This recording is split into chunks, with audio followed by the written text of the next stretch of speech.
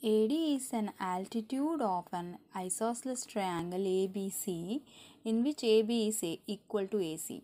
Show that AD bisects BC and AD also bisects the angle A. Welcome to Mathotropism.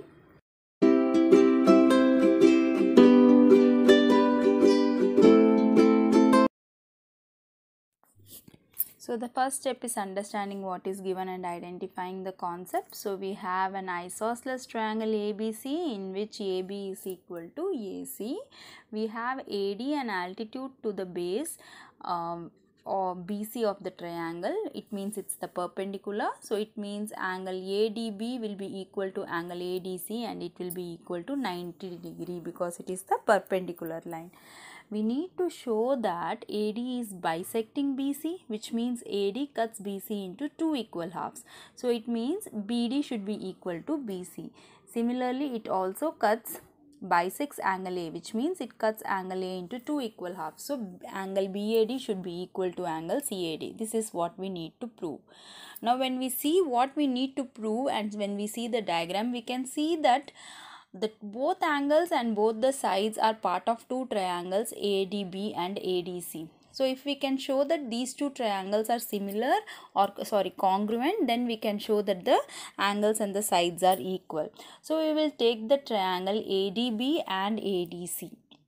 In this if we see from step 1 we have that the angle ADB is equal to angle ADC which is 90 degree. AB is equal to AC and we have AD as the common side.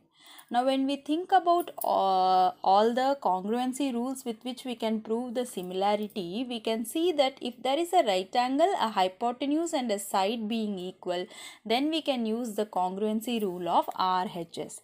So here again we can see that AB and AC are nothing but the hypotenuse. We have the common side as the side and 90 degree angle we have. So we will be using by RHS congruence triangle ADC. Instead of D we will be writing D and when we see the common side and remove the D part you have both sides A.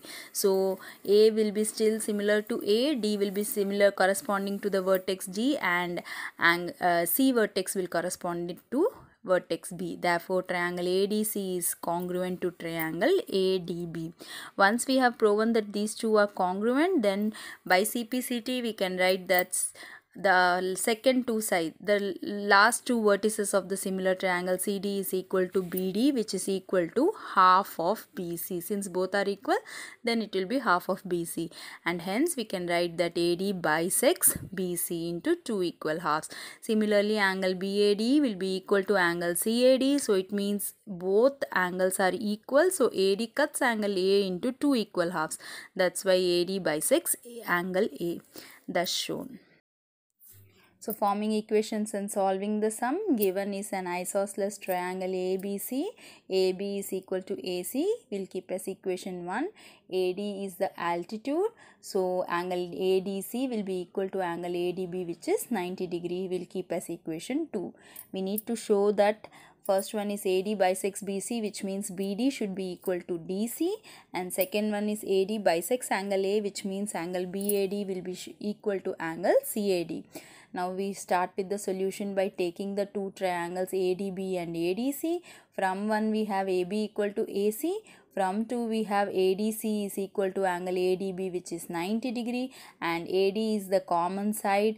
We know that AB and AC are the hypotenuse since these two angles are 90 degrees. So by RHS congruence we can write that ADB triangle is similar uh, congruent to triangle ADC. So by CPCT we will be writing that the second two vertices taken together BD will be equal to DC which means that AD is bisecting BC into two equal halves.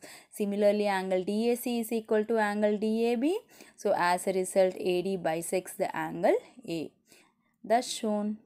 Thank you.